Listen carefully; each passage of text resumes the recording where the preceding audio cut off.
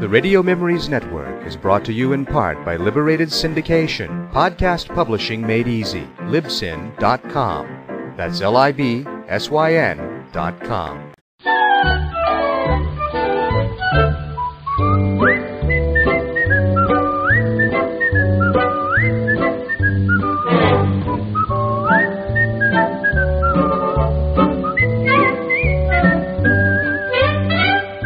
best old time radio from people you trust. The Radio Nostalgia Network, where the oldies are still young.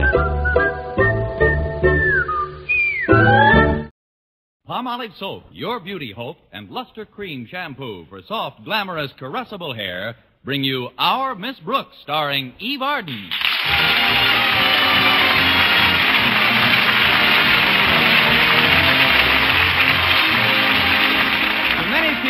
Friday the 13th brings a feeling of impending misfortune. But our Miss Brooks, who teaches English at Madison High School, doesn't believe in such superstition. No, indeed. I don't need any special day to be unlucky. In fact, ladders shy away when I come near them, and every mirror in the house has seven years bad luck, because I'm always broke. Last Friday was no exception. Have you ever opened your eyes in the morning and felt that everything was going to go wrong that day, and then realized that you'd already made your first mistake by opening your eyes? well, that's how I felt on Friday when Mrs. Davis entered my room. Up you go, Connie. Up, up, up. Rise and shine. I'm up, Mrs. Davis. Up we go, out of the sack and hit the deck. I'm hitting. I'm hitting.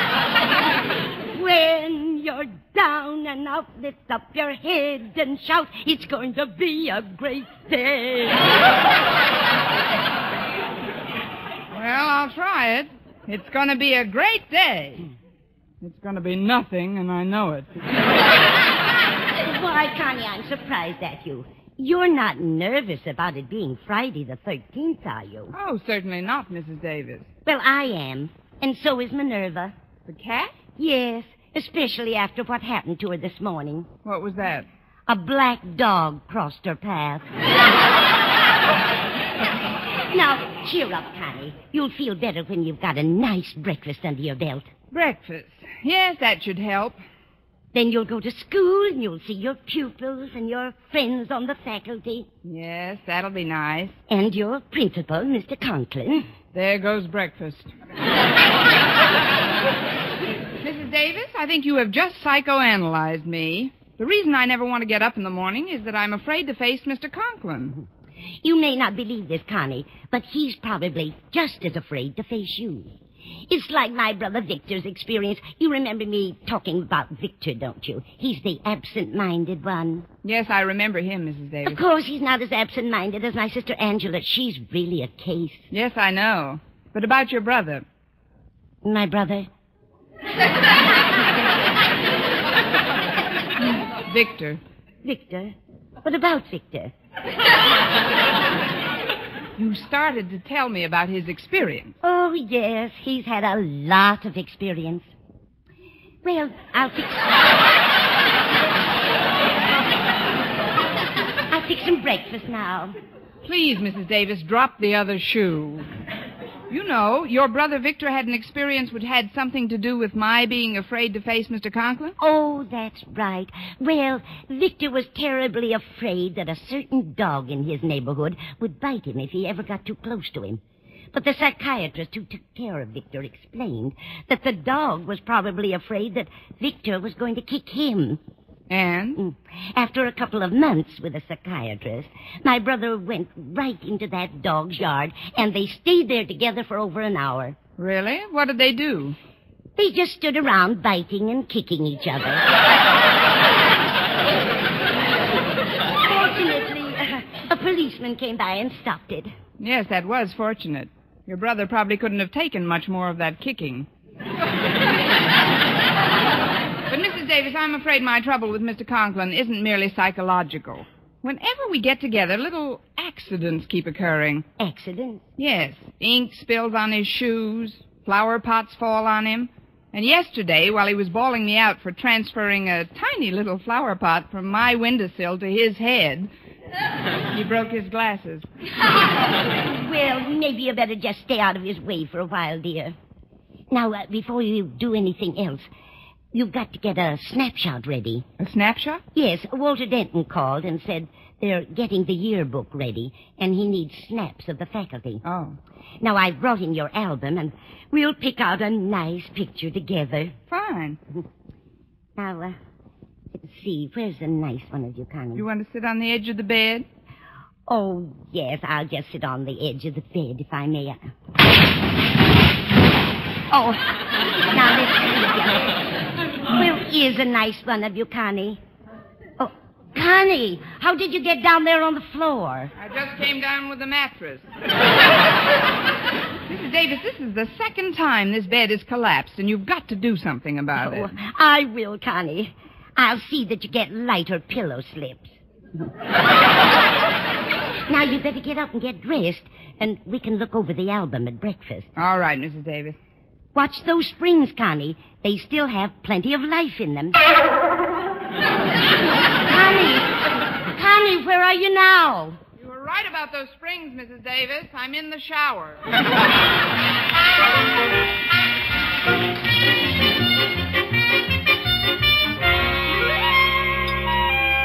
Now we'll just push the breakfast dishes to one side. There. And look through your album for a nice picture for the yearbook. I haven't gone through this album in a long time. Oh, look at this one of you, Connie. I love your hair that way. Curling all over your head. Makes you look so youthful. That's what Mother thought. She didn't cut it till I was nine weeks old. You look terribly cute, Connie, stretched out on that rug. What is it? Bearskin? We certainly are. No, I don't think that would be the ideal picture for the yearbook, Mrs. Davis. Too dressy. Oh, here's one taken at the beach. My, what a stunning bathing suit. That's my French model bathing suit. It was taken at Lakeview Beach last summer. And those sandals are exquisite. Such a pretty design. That's all handwork in the front, isn't it? Sort of. Those are Blue Jay corn plasters. now ah, I'd better get ready. Walter Denton and Stretch Snodgrass should be picking me up any minute. Oh, they're such nice boys. But you know, Connie, I can't help but feel sorry for Stretch. He's a wonderful athlete, I know, but honestly, for a 16 year old boy, he has the mind of an 8 year old simpleton. Oh, that isn't fair, Mrs. Davis. Stretch has every bit as much mentality as a 16 year old simpleton. Well, somewhere along the line, that boy's mental development has been arrested. Arrested, It's been sentenced and shot. now, if you'll put away that Oh, album. uh, just a minute, Connie. Has uh, Mr. Boynton ever seen you in it? In the album? No, in the French bathing suit you're wearing in the snapshot. Why, no. I don't believe the bashful biologist has seen me in that. Well, he should. That would take his eyes off his frogs for a minute. now, let's take this picture out of the album so you can give it to the boys when they get here. Oh, you're joking, Mrs. Davis. If Mr. Conklin saw a picture like that, that in the yearbook, steam would shoot through the top of his head. I don't mean the whole picture, Connie. I've got this scissors here to cut off your head. That's all they'll need for the book. Uh, there we are. Here's your head, Connie. Just in time, Mrs. Davis. Now I can finish my coffee. oh, that was very nice. Oh, would you mind answering that, Mrs. Davis? I'll go get my hat and bag and put the finishing touches on my face. Very well, Connie. Hiya, Mrs. Davis. Hi, Mrs. Davis. Hello, Stretch. Walter, come in. Miss Brooks will be with you in a minute. She's just putting her face on. Oh, we're in no hurry. Say, what's that picture you got in your hand? This. Oh, this is Miss Brooks. Let's see. Gosh, now I know what you meant when you said she's putting on her face. Now, where's her head, Mrs. Davis? Her head. Oh, she's probably got that in her purse. Oh. Her purse? How can she get along with no head? Coming from you, Stretch, a question like that could be very embarrassing. Apparently, this picture's been torn, Mrs. Davis. Naturally. You said you just needed a snapshot of Miss Brooks' head for the yearbook, Walter. So we snipped that part off for you. Oh, I get it. But, Mrs. Davis, could we have this lower part of the snapshot, too? Well, I don't see why not, Walter. When you get through with the yearbook, you can paste both parts together again. Gosh, if I may say so, Miss Brooks' figure sure looks beautiful in a bathing suit. Especially in that one, Walter. That's a French bathing suit. Yeah. How do you like it, Stretch? Well, I don't know. I don't understand French so good. Well, neither do I, but in this case, all you gotta do is read between the lines. Yeah. Yeah. Uh, want me to carry the snapshot for you, Walter? Oh, no, thanks, Stretch. It's not heavy. Well, I see I have two chauffeurs today. Hello, boys. Hi, Miss Brooks. Oh, Stretch picked me up today on account of I had a little trouble with my clutch. What kind of trouble, Walter? I lost it. You lost your clutch? Oh, yes, ma'am, but I'll find it all right. It can't be much more than a block away from where the emergency brake fell off. That's probably just a stone's throw from the motor. Oh, before I forget, here's the snapshot for the yearbook. Snapshot of who? Oh, this is your face. Oh, thanks, Miss Brooks. Well, we better be going if we're going. Yes, it's getting late. Now remember what I told you, Connie. Be sure and invite Mr. Boynton to take you swimming soon, so we can see you in a bathing suit. Please, Mrs. Davis, if Mr. Boynton wants to take me swimming, he'll take me swimming. I'm certainly not going to do anything about suggesting it to him until lunchtime. Well, we better step on it. We gotta pick up Mr. Conklin on the way to school. Mr. Conklin? Yeah. Harriet called me and told me that her mother had to take their car downtown early this morning, and she was counting on me to pick them up. But if I'd known that, I would have gone to school on my pogo stick. So would I have. We can't let Walter down now, Miss Brooks. Besides, Mr. Conklin isn't so bad. For all we know, he's just as nervous about us as we are about him. Stretch, you're not related to Mrs. Davis's brother Victor, are you? no, I guess you just take from the same psychiatrist.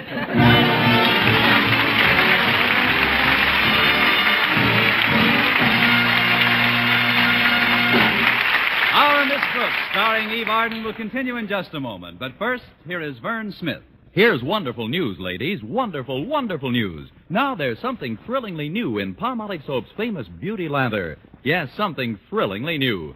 Palmolive's famous Beauty Lather now brings you new fragrance, new charm, new allure. Millions of women will prefer Beauty Lather Palmolive over all other leading toilet soaps the minute they try it. For Palmolive Soap's famous Beauty Lather now has a new, clean, flower fresh fragrance for new allure, new charm. So, ladies, forget all other beauty care and use Palmolive soap the way doctors advise for a lovelier complexion. Just stop improper cleansing and instead wash your face with Palmolive soap three times a day, massaging Palmolive's wonderful beauty lather onto your skin for 60 seconds each time to get its full beautifying effect. Then rinse. That's all. All types of skin, young, older, oily, respond to it quickly. Don't wait another day to try Palmolive's Beauty Lather. You'll be thrilled by its new fragrance, new charm, new allure. Thrilled again by the fresher, brighter complexion doctors prove may soon be yours. For new loveliness all over, use big bath size Palmolive in tub or shower.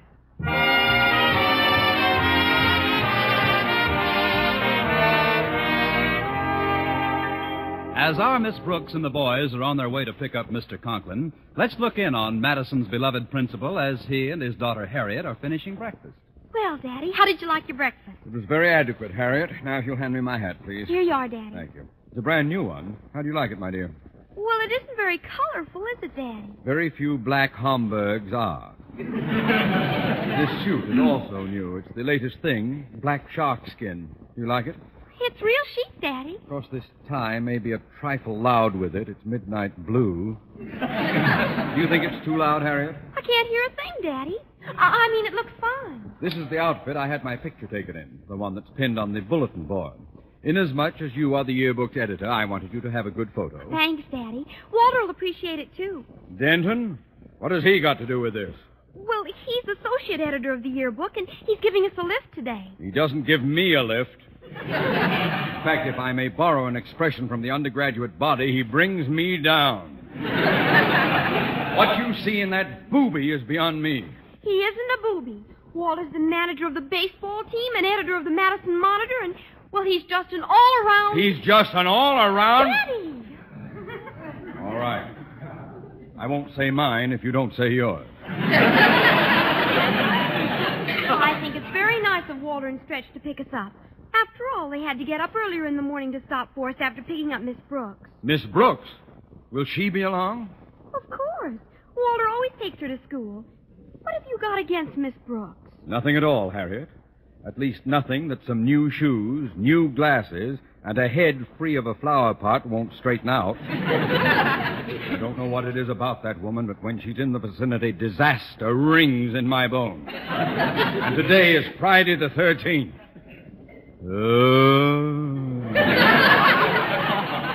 Oh, please, Daddy, you're exaggerating. Miss Brooks is probably just as nervous about facing you as you are about facing her. I doubt it. I wish we could get to school some other way. Only it wasn't so late. We. Oh, well, they lifted the Berlin blockade. Maybe there's hope for me.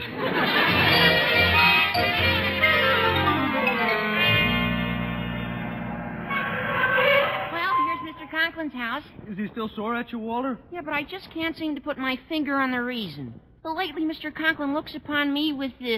Uh, Would repugnance do it? is that bad? Very bad. Then that would do it. That's why I wrote the speech when I knew we were taking him to school. Speech? Yeah. By the time we get to Madison, my future father-in-law and I'll be buddies. Oh, before I honk the horn, I'd like you to hear the speech, Miss Brooks.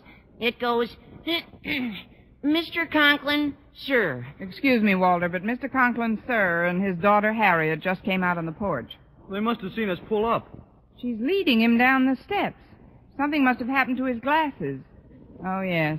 Hello, Miss Brooks. Hi, boys. Hi, Mr. Harriet. Conklin. Hi, Hello. Harriet. How are you this morning, Mr. Conklin? Fairly well, so far. Get in, Harriet. Yes, Daddy. I'll sit in the front with the boys. And you sit back here with me, Mr. Conklin. Here, I'll hold the door for you. Thank you. That's a lovely suit you have on. Is it new? Yes, Miss Brooks? Brand new. It's just your pocket, Mr. Conklin. I'll sew it up when we get to school. Go ahead, Stretch. Uh, Mr. Conklin, sir. Shut up, you boob.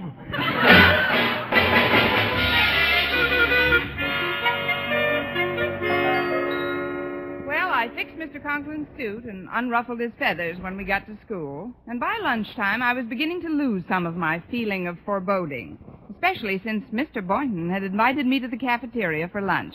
Remembering Mrs. Davis's advice, I thought I'd try and get Mr. Boynton to ask me out swimming so I could show off my French bathing suit. I was extremely subtle about it. Did you enjoy your lunch, Mr. Boynton? Oh, very much, Miss Brooks. Me too. Let's go for a swim.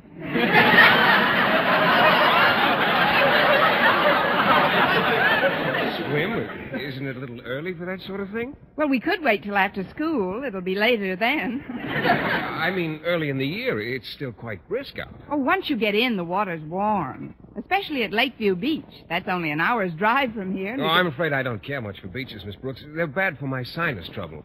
Oh. I like swimming in a pool, though. Wonderful, Mr. Boynton. Let's go for a swim in your pool. Uh, I'm afraid that's impossible, Miss Brooks. My pool's at the YMCA.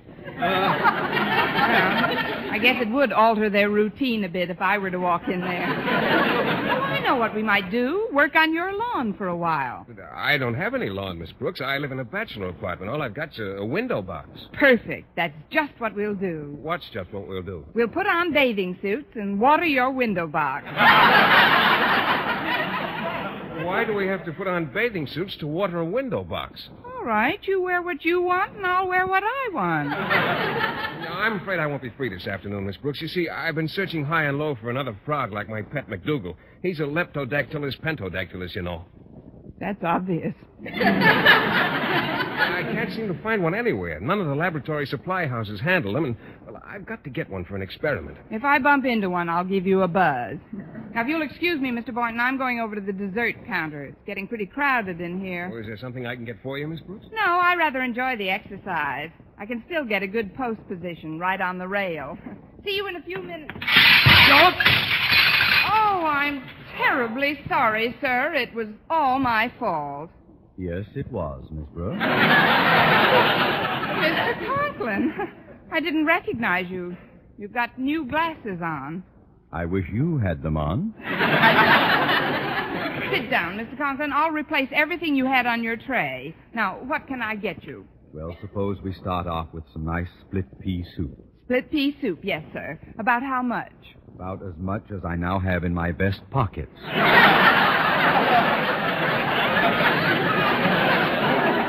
and Miss Brooks, after you've served me and before you go back to your classroom, stop at the bulletin board, will you? The bulletin board? Yes.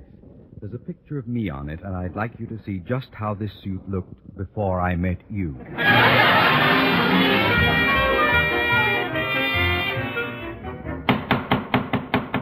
There, that'll teach him to call me a boob. Oh, oh, it sure looks funny, Walter. Miss Brooks in a bathing suit with Mr. Conklin's head nailed on the shoulder. but this won't get Miss Brooks in trouble, will it, Walter? How can it get her in trouble? These could be anybody's legs. Anybody but Mr. Conklin's, that is. Let's get out of here, Stretch. Somebody's coming. Okay, but I'd sure like to see Mr. Conklin's face when he spots his picture. Well, here's the bulletin board, Mr. Boynton. I'll just. Mr. Boynton, do you see what I see? Yes, I think so, Miss Brooks. Is this the suit Mr. Conklin wanted you to see him in? That happens to be me, Mr. Boynton. It was taken at Lakeview Beach. You? Well, that must be a pretty old snapshot. Frankly, I, I like you better without the mustache. Thank you. I'm a lot less bald now, too.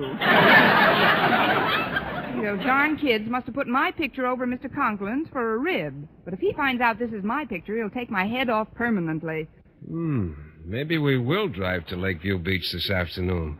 But first, I better get this picture down, Miss Brooks. They didn't use thumbtacks. These are real nails, and they're hammered way in. Oh, I'd better find a hammer to pick them out with. Come on, Mr. Boynton. The keys to the supply room are in Mr. Conklin's office.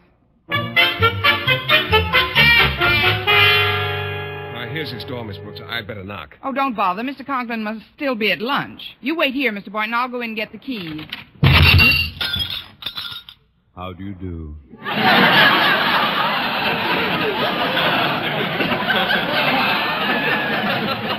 was just coming in, Mr. Conklin. I was just going out, Miss Brooks. I thought you were still in the cafeteria. I wish I were. just, just for a moment, gaze upon me. Yes, sir. It will be evident even to you that by banging the door in my face, you have broken my glasses. the regrettable fact remains, however, that even without my glasses, I can still see you. I just wanted to get a hammer, Mr. Conklin. A hammer? You've done a splendid job without a hammer.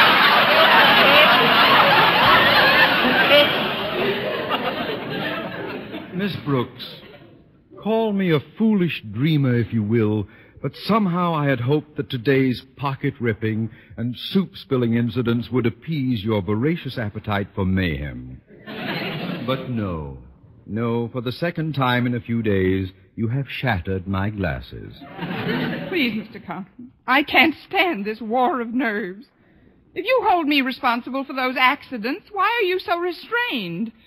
You've got high blood pressure. Use it. I mean, give me a good loud dressing down and get it out of your system. Miss Brooks, such crude behavior would be unbecoming to the principal of a high school. To lose control in the presence of others is to betray ill breeding. Now then, would you be good enough to excuse me for a moment while I walk over to the closet? Of course, Mr. Conklin. Thank you, my dear.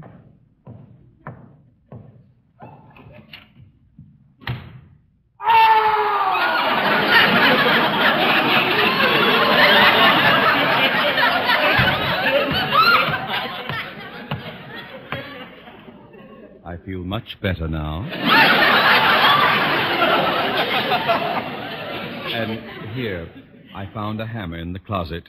You may have it, Miss Brooks. Oh, thank you, Mr. Conklin. I'll just take this. I'm sorry I dropped the hammer on your foot, Mr. Conklin. That's all right. I have another foot.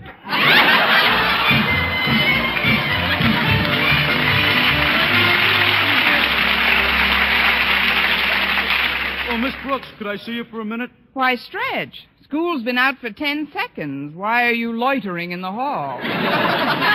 Oh, I've been looking for you, Miss Brooks. I even asked Mr. Conklin if he knew where you were. But a funny thing, the minute I mentioned your name, he ran into the closet. Yes, I know. Why did he do that, Miss Brooks? Quiet, Stretch. Oh! That's why. Now, what did you want to see me about, Stretch? Well, Harriet Conklin wanted a full figure picture of you for the yearbook. So I pasted your head to the lower part of the picture we took off the bulletin board. Hmm, I've never had a full figure picture in the yearbook. I guess Friday the 13th isn't so unlucky after all. Unless you happen to be Mr. Conklin. Oh, there you are, Miss Brooks. Isn't it terrible? Isn't what terrible, Walter? Harriet Conklin just got the proofs back for the yearbook. Look at the snapshot section. Look here where it says, This is our Miss Brooks. Oh, let's see. Oh, no. Stretch, you pasted the wrong parts together. This is a picture of my face attached to a blubbery body wearing a black sharkskin suit. Gee, maybe there is something to Friday the 13th. Oh, it's an awful break, Miss Brooks. Every teacher and student at Madison will see this. You'll be the laughing stock of the whole school. Gosh, I wouldn't blame you if you bursted out crying. Not me, boys. To lose control in the presence of others is to betray ill breeding. Will you excuse me a minute? And now, Miss Brooks? I just want to borrow your closet, Mr. Conklin.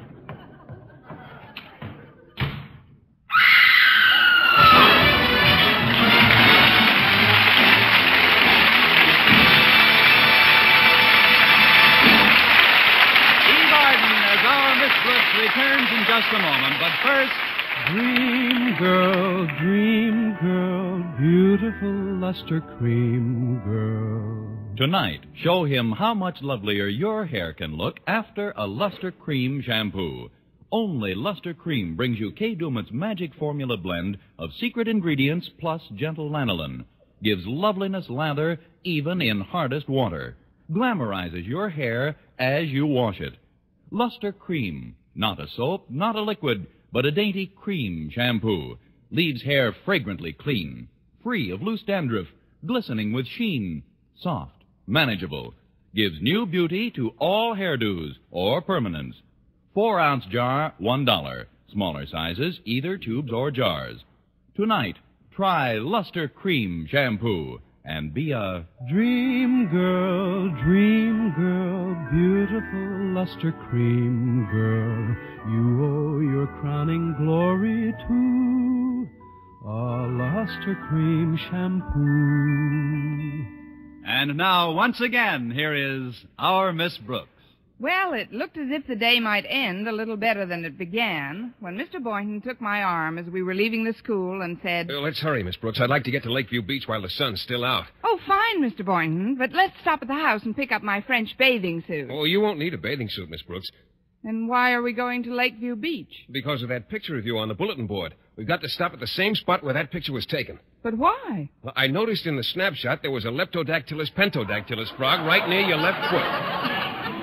If you don't mind, Mr. Boynton, I'd still like to pick up my bathing suit. For what? If it fits the frog, you two can go steady. Next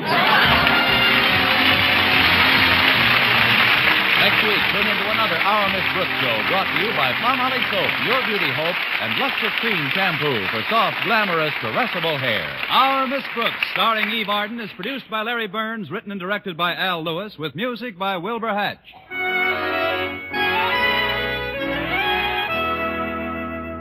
Here's good shaving news. Three men out of every four can get more comfortable, actually smoother shaves with Palmolive Brushless Shaving Cream. This is not just a claim. Here's the proof. 1,297 men tried the Palmolive brushless way to shave described on the tube. And no matter how they shaved before, three men out of every four got more comfortable, actually smoother shaves. Try Palmolive brushless yourself. See if you don't get more comfortable, actually smoother shaves the proved Palmolive brushless way. For mystery liberally sprinkled with laughs, listen to Mr. and Mrs. North, the exciting, fun-packed adventures of an amateur detective and his beautiful wife. Tune in Tuesday evening over most of these same stations. And be with us next week at the same time for another comedy episode of Our Miss Brooks. Bob Lamont speaking. Stay tuned now for Life with Luigi, which follows over most of these stations. This is CBS, the Columbia Broadcasting System.